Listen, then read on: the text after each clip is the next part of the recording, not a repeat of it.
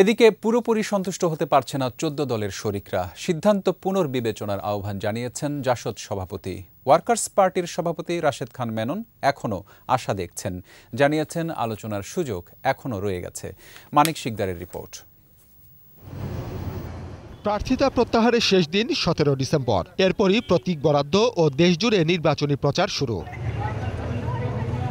BNP নির্বাচনে না আসায় জোটের আসন ভাগাভাগি নিয়ে নানা সমীকরণ চলছে বেশ কিছুদিন ধরে। জাতীয় পার্টি এককভাবে নির্বাচন করলেও জাসদ, ওয়ার্কার্স পার্টি, সাম্যবাদী দলসহ চোদ্দ দলের শরিকরা জোটভুক্ত হয়েই লড়বে। এরই মাঝে শরিকদের কয়েকটি বৈঠকের পর সিদ্ধান্ত হয় ষাটটি আসনে ছাড় দেবে আওয়ামী লীগ। আওয়ামী লীগ বলছে নির্বাচনে জয় পাওয়ার সক্ষমতা ও জনপ্রিয়তার ভিত্তিতেই এই সিদ্ধান্ত। কোন প্রার্থী নির্বাচনে জনগণের ভোটে নির্বাচিত হবে এই সম্ভাব্যতাটাকে সর্বাধিক গুরুত্ব দেওয়া হয়। তবে এতে পুরোপুরি সন্তুষ্ট হতে পারেনি শরিকরা। জাসদ সভাপতি হাসানুল হক ইনু জানান এটা চূড়ান্ত সিদ্ধান্ত নয়। আসন বাড়াতে এখনও আলোচনার সুযোগ আছে।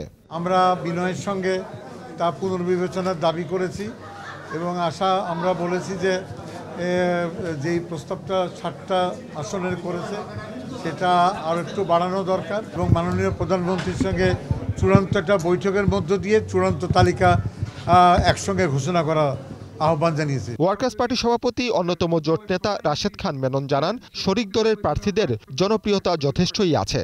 সবকিছু বিবেচনা করে আসন আরও বাড়ানো উচিত বলে মনে করেন তিনি। এখানে আমাদের কোনো সক্ষমতার কোনো অভাব নেই।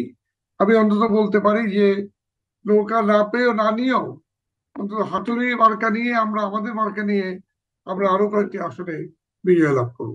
চূড়ান্ত সিদ্ধান্তের জন্য প্রধানমন্ত্রী শেখ হাসিনার দিকে তাকিয়ে আছেন চোদ্দ দলের শরিকরা। তার শরিকদেরকে আরও একটু বেশি সিট দেওয়ার ক্ষেত্রে আমি মনে করি যে প্রধানমন্ত্রী বিষয়টি পুনর্বিবেচনা করে দেখতে পারেন। মানিক শিকদার একুশে টেলিভিশন ঢাকা।